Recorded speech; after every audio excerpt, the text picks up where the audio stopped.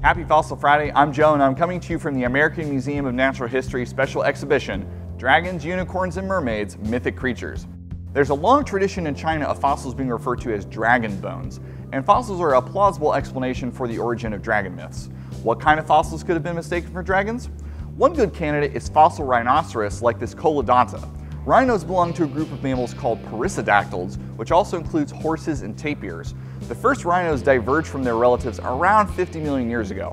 While there are only five living species restricted to Africa and Southeast Asia, there were other species of rhinoceros all over Africa, Asia, Europe, and even North America up until about 10,000 years ago.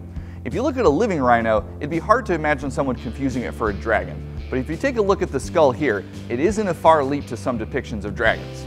That's it for Fossil Friday. We'll see you next week.